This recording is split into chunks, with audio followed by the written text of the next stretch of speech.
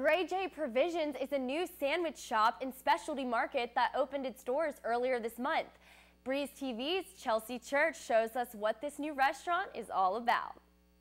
Owners Michelle Gagnon and Seth Amston were inspired by the Gray Jay bird because it often shares its meals with others. They hope to bring healthy and accessible food to the valley while also offering a welcoming environment that everyone can enjoy. Homey, comfortable, um, friendly, and that like those words are not just in the atmosphere, but it's like it's really also in the food.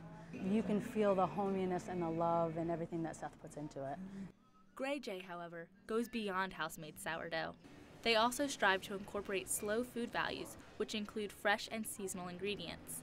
Seth says they bring the farm to the table while making conscious efforts to reduce waste by composting.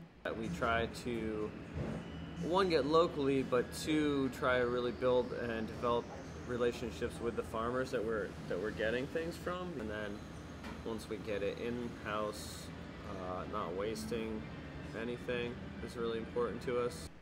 Practicing ecological responsibility and creating community are at the heart of what Michelle and Seth are working to bring to Harrisonburg through their love of food. For Breeze TV, I'm Chelsea Church.